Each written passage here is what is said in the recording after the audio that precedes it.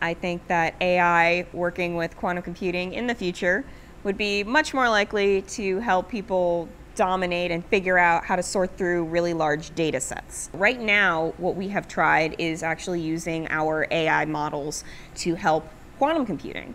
So one example task of that is we have a code assistant which runs on watsonx, which helps people learn Qiskit, which is our quantum computing programming stack. We're able to use AI models to compile circuits and actually figure out how to run algorithms more efficiently on the quantum computers right now. One of the first places that we expect to see quantum advantage is in areas where we are simulating chemical or atomic models and simulations. So, battery development is an example.